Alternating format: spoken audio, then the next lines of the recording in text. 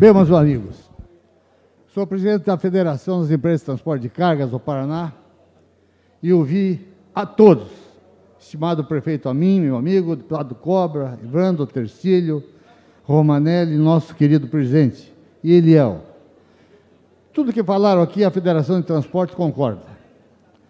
Nós somos de 22.500 empresas de transporte. Aqui nesta região tem mais de 1.800, entre Cornélio e sua região, que desce ao porto de Paranaguá. E nós temos no litoral a segunda praça mais cara do Paraná. E peço ao nosso presidente que leve também essa discussão ao litoral paranense e a Paranaguá. Nós somos, sim, contra esse modelo. Existem algumas inovações que devemos, devemos até parabenizar, mas essas inovações não, não ultrapassam as nossas necessidades. Nós precisamos, sim, que a tarifa seja pelo menor preço, a forma de como eles estão fazendo conduz à outorga, que não é possível você fazer um edital de licitação onde você tem um máximo de desconto de 15%.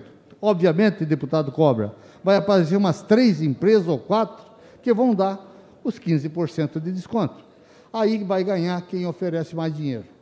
Este dinheiro da outorga recairá, sem dúvida, sobre a tarifa.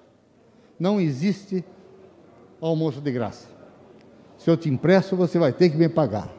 Então, pessoal, para não ser repetitivo, e nesse momento que nós temos pandemia, dificuldade, eu acredito que a, o diálogo, a complacência, a concordância, a discussão sadia seja o melhor momento para todos nós.